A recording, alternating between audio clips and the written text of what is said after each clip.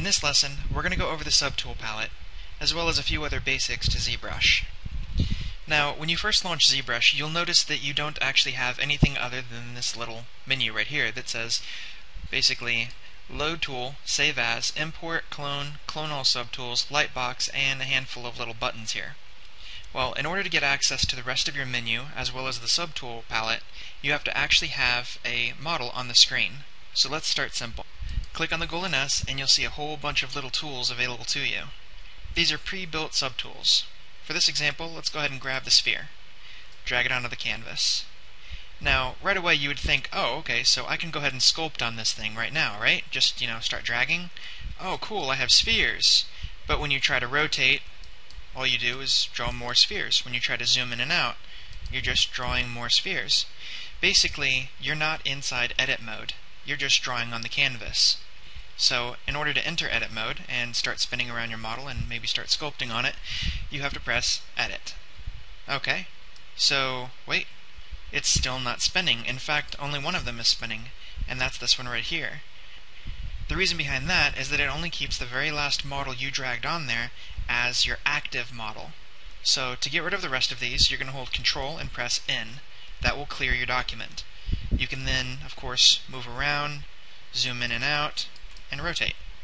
The controls behind that are Alt and click on the screen to move. If you let go of Alt, you can zoom in and out. And of course, to rotate around your object, just simply click anywhere in the black and start moving the mouse around without holding Alt. Okay, so let's get into the subtool palette.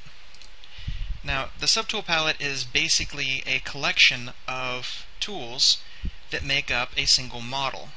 So even though there's only a sphere there currently right now, if you were working on a character, you would have like the head, the shoulders, the belt, the pants, the chest piece, the sword, axe, or, you know, basically whatever else made up your character.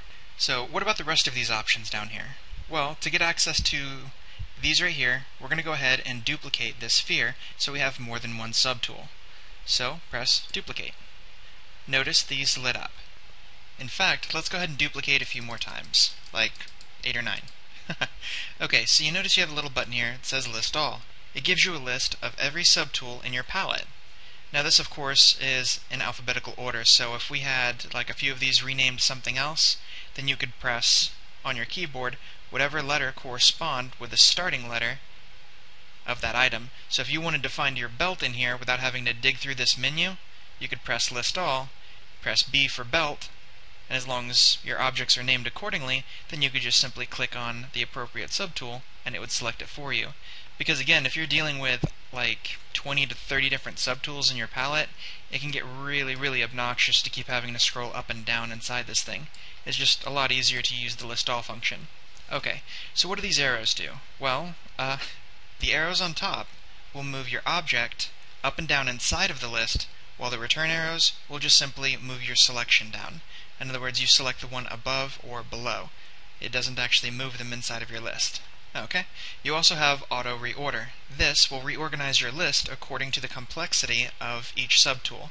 So whether it's the most complex at the top to the bottom or the easiest and most simple items at the very top to the most complicated at the bottom. It's basically a sort function. You also have all low and all high. These are basically easy buttons to lower the subdivision levels on all of your subtools or raise them all to the highest. Subdivision levels are found in the geometry palette. Just simply click divide and it will increase the complexity of your mesh. As you can see, this one is really detailed. If you click on any of the other subtools, you'll notice that they're not anywhere near as detailed. And that's because they are a much lower resolution than this one is. This one was subdivided. So as you can see, subdivision levels work on a per tool basis. So if you have a whole bunch of these things, again like 20 to 30 of these, and they're all at a varying resolution, could you imagine having to scroll down to each one and go, okay, drop down to 1? Okay, then click on the next, and the next, the next. Yeah, okay, it could get really, really annoying. So again, these are easy buttons for that.